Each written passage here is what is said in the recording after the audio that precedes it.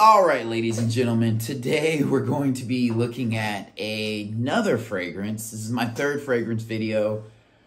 Um, just because I like looking at fragrance videos on YouTube and I think they're cool and I like seeing different perspectives of the same scent.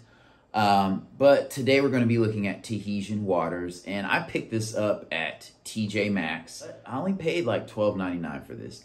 This is a complete, complete blind buy. I do not regret it. Um, this is a typical English laundry kind of setup. I didn't get the box with it. It was just sitting there. But, um, you know, your typical uh, English laundry look. You know, you have your um, engraved top. It is heavy. The sprayer, I've already sprayed on a couple scents, so I'm not going to go over that. The atomizer is middling. Um, it's not great. It's not bad. Um, and just to sum this scent up, I would say this is a good scent to wear on a cruise or like a tropical, if you're going to Hawaii, you're going to Florida. Decent scent. I don't regret buying it. Again, it was $12.99. Um, it's like $60 on Amazon. If you're into this kind of thing, tropical scents, um, like a, what is it, a fruity, a floral fruity scent, you might pay $30, $40 for it. Um, and if I saw it in the store again, I would not buy it again just because I'm not going to wear this too much.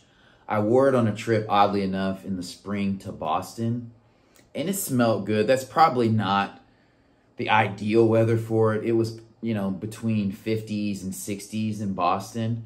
Um, but, you know, I've got I got some compliments on it. This came out in 2013, and it doesn't smell dated by any means. I think if I wore this in my 30s and my dad wore this at his age or a young man, I don't really subscribe to all of that. Oh, well, if you're 20, you can do. I just wear it with confidence, and if you like it, you like it. Um, because colognes are really, really subjective. If you've watched a number of videos, they're super subjective.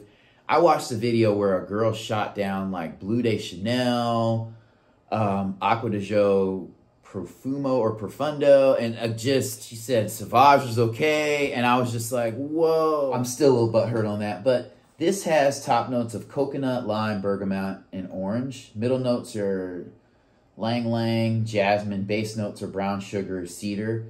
I will say to me, um, it does like the opening is like you can smell the coconut citrus. It, it definitely smells good. It's not super offensive. Um, and it definitely has a sweet smell. It's not like Joop sweet. And the dry down, to me, is woody and brown sugar when it dries down. You can smell a little bit of the citrus, but it's woody and brown sugar. And so you could sit with somebody, near somebody with this scent. You won't knock them out. You won't give them a headache. Um, it lasts decently. On my skin, not as much, probably like four hours. Um, you know, when I initially sprayed it, you know, it, it, does give you a little zing, but then the coconut, the coconut goes well with the citrus. So, um, you know, I will say that.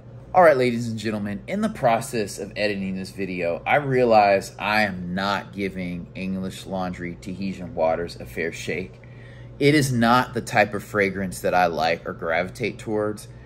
And I feel like in this video, I'm putting it down a little bit too much. I've cut out so much of the content that I recorded for this just because I'm coming from a very one-dimensional place, that being I like other types of fragrances. And let me start by saying English Laundry is a good house. They make quality fragrances, and Tahitian Waters is no different. This is an eau de parfum um, concentration and you can smell it is a little bit heavier, a little bit richer, um, and higher quality than, you know, your typical, I'll pick up a cheap $15, $20 bottle of a no-name fragrance for vacation type of thing. Um, this is worth going into, into a department store and buying if you're into this type of fragrance. Um, I think it's quality. It's just it doesn't suit me. Um, I'm going to keep it. I'm going to wear it on occasion.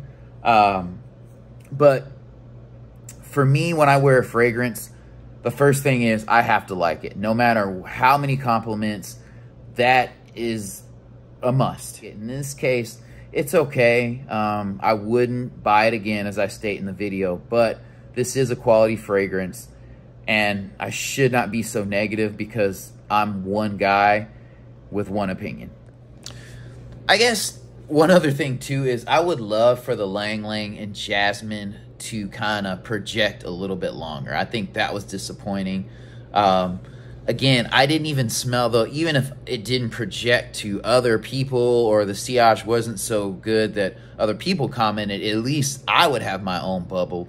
And I feel like, I don't know, maybe it was just because I was nose blind in a different place, allergies, but I could not smell it on me for me to even enjoy. So, I don't know. Maybe it's just a scent my nose doesn't pick up, but that's just my experience. Again, if you're at a discount retailer, pick it up so you can test it out. And then if you like it, like it, then you can go to a full-fledged retailer or Amazon and pay a little bit more for it. Yeah, Tahitian Waters is just as it sounds. It's not a super heavy scent. Um, I wouldn't spray heavy if you're going to be on a plane or whatever. You might knock somebody out. It's definitely worth a blind buy if you're, you know, at a TJ Maxx, Marshalls um, Burlington kind of situation. Definitely a solid pickup. Um, I know this wasn't super informative, but here's the bottle. It's kind of like a silvery, shimmery kind of finish, and you can see through it. I haven't sprayed it too much. I would definitely take English Laundry London and Cambridge Night over this. Um, I would even probably take the signature scent over this, even though this would probably get you more compliments and would project better. I just think the English Laundry signature is a little bit more unique and sophisticated and mature, not in a sense that you know, it's old manny, but just less people are wearing it. So you've taken some time, you have some depth to you. You don't just grab what's popular. You can find something that's a little bit more obscure and it works for you. So that's kind of what their signature scent says to me. And this kind of says, okay, you know, kind of fun, fruity, sweet. So